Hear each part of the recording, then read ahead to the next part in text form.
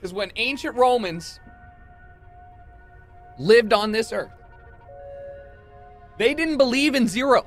All right? Nobody was out there getting zero pussy. Everybody was getting holes. It just might have been a wide selection of, in of various qualities, but they, they were like, never shall any individual get zero pussy.